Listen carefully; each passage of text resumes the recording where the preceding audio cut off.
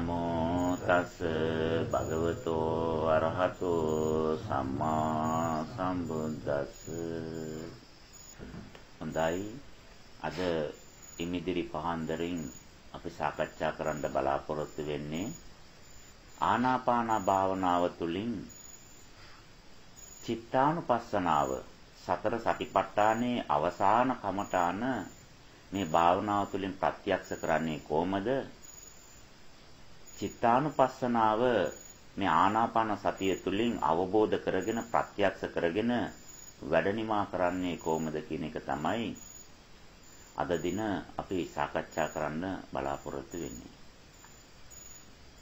අපට මතකයි මීට ප්‍රථම කායානුපස්සනාව, ධම්මානුපස්සනාව, වේදනානුපස්සනාව කියන කාරණා තුන අපි මේ ආනාපාන සතිය තුළින් සාකච්ඡා කළා ශ්‍රවණය කළා. එහෙනම් මේ චිත්තානුපස්සනාව කියන කාරණාව ගොඩාක් ගැඹුරු කාරණාවක්. මේ කාරණාව අභිධර්මයට සම්බන්ධ එකක්. මේක මේ භූත වලින් ගත්තාම ඉහළ තලයේ එක භූතේ. එනම් මේ ආලෝකය කියන තේජෝ වලට සමාන ආලෝක ධාතුවට තමයි මේ සිත නිතරම සමාන කරන්නේ. තථාගතයන් වහන්සේ තමන්ගේ සිත ආලෝකයක් වශයෙන් දකිනවායි කියලා දේශනා කරනවා. එහෙනම් මේ ආලෝක ධාතුවට අදාළ ධර්ම කාරණාව මේ භාවනා යෝගියා කොහොමද ප්‍රත්‍යක්ෂ කරන්නේ? එයාට කොයි ආකාරයෙන්ද මේක වැටහෙන්නේ කියන එක ගැන තමයි අද අපි විශේෂයෙන් අපේ අවධානම යොමු කරන්නේ.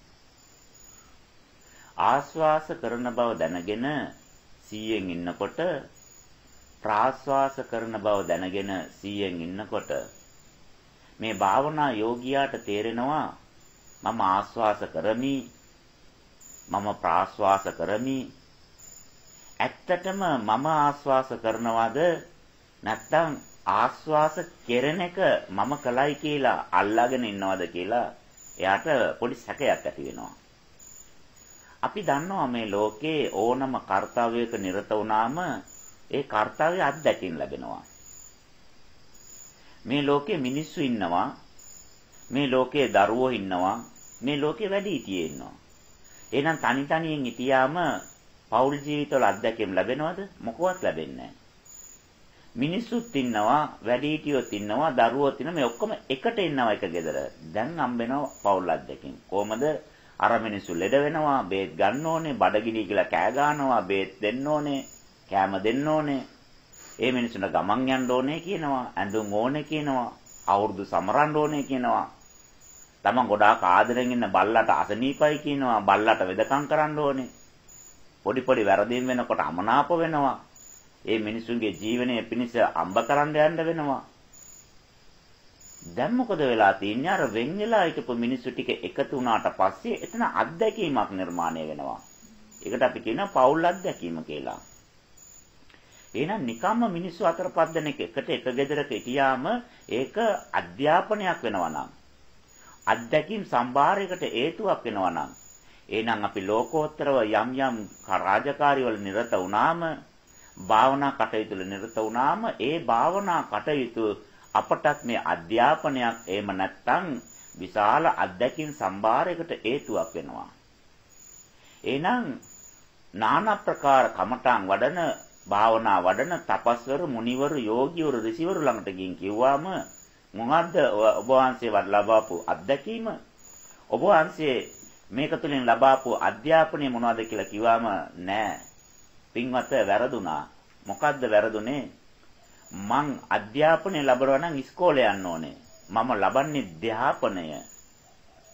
ධානය මුල් කරගෙන අවබෝධය මුල් කරගෙන ප්‍රඥාව මුල් කරගෙන යමක් ඉගෙන ගන්නවා නම් ඒකට අධ්‍යාපනය කියන කියන්නේ ධ්‍යාපනය අයන්න නැතුව කතා කරන්නේ.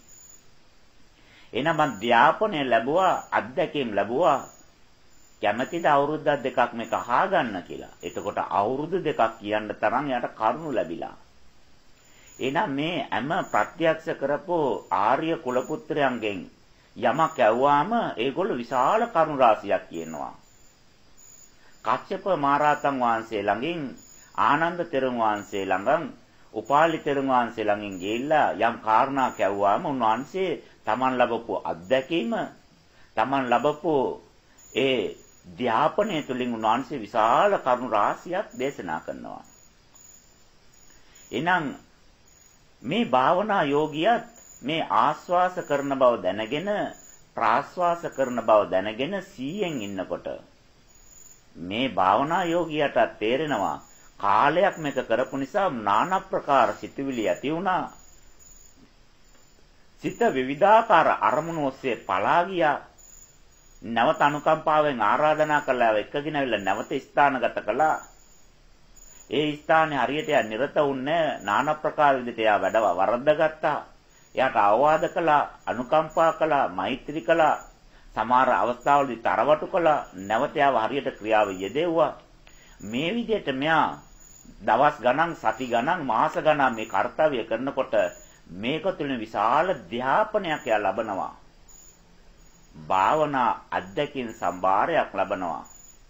මේ විදිහට මේ භාවනා යෝගියා කරගෙන යනකොට එයාට තේරෙනවා මම ආස්වාස කරමි මම ප්‍රාස්වාස කරමි කියලා කාලයක් හිටියා.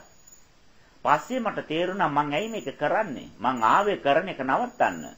මෙච්චර කාලයක් කුඹුරු කළා, ගෙවල් පරිස්සම් කළා, ළමයි නඩත්තු කළා, ගස්වල ගෙඩි කැඩුවා, ඒවා විකුණුවා. මේ ඔක්කොම කළා. එහෙනම් තවත් මම මොනවද කරන්න තියෙන්නේ? නෑ මම කරන එක නවත්තන්න මං ආවේ. ඒත් මං එකක් කරනවනේ. එහෙනම් කරන එක නවත්තන්න ඇවිල්ලා ඇයි මං නවත් තවත් කරන්නේ? එතකොට gedarat ඕක කරන්න තිබුණානේ. එයාට තේරෙනවා මේ කරන්න අවශ්‍ය නැහැ. මේක කෙරෙන්න අරින්න ඕනේ කියලා. ඒ භාවනා යෝගියාට ලැබිච්ච ධ්‍යාපනය තුලින් ඒ අත්දැකීම් තුලින් එයා ඉමීසරේ මම කරමි කියන එකෙන් මම අයින් කරලා කෙරෙන බව දැනගෙන ඉන්නවා. එහෙනම් මේකට කවුද කමටහන් දුන්නේ? එයාට එයාමයි කමටහන් දුන්නේ. එයාම තේරුම් ගත්තා මෙතන දෝෂයක් තියෙන බව. ඒ දෝෂය නිර්දෝෂ කළා. ඒ ආර්ය උත්තමයා මේක කරගෙන යනකොට යාට තේරෙනවා ආයි වැරදුනානේ මට. ඇයි ඇතුලේ මේ පඬිතියා ප්‍රඥාව ලබන්න ලබන්න එයාගේ කල්යාණ මිත්‍රයා එයාගේ ිතවත්කම වැඩි කරනකොට එයා පොඩි පොඩි දේවල් කියලා දෙනවා. ආයි කියනවා දැන් කරෙන් කරන්නේ කෙරෙනව නේද? ආස්වාස කරන බව දැනගත්තද? එහෙමයි. ප්‍රාස්වාස කරන බවක් දැනගත්තද? එහෙමයි. ඒක හරියටම හරි දැනගත්තා මං. නෑ. ආස්වාසයේද ඇත්තටම දැනගත්තේ ප්‍රාස්වාසයේද ඇත්තටම දැනගත්තේ කියලා පොඩ්ඩක් ගවේෂණය කරලා බලනකොට එයා කල්පනා කරනවා. ඇතුළට ගියෙත් උලංගනං එළියට ගියෙත් උලංගනං මේක ආස්වාස කියලා මං කොහමද මේක තීරණය කළේ? කවුද මේක තීරණය කළේ?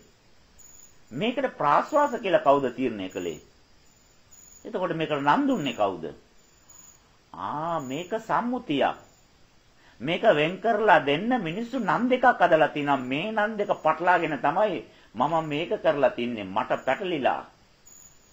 මේ සම්මුතිය තුල මං ඉඳලා මිනිස්සු හදාපු නාම රූප වලට මං දෘෂ්ටිගත වෙලා. ටග්ගාලයා ආනවා කල්යාණ මිත්‍රාගෙන් අනේ ආර්ය පුත්‍රය මට සමා වෙන්න මට අනුකම්පා කළා කියන්න. මේ සම්මුතිය නිදාස් වෙන්න මට මොකද්ද මම කළ යුත්තේ? මට වැඩ වැරදිලා අනුකම්පාවෙන් මට කියන්න. මගේ මේ වැඩ නිර්වුල් කරගන්නේ කොහමද?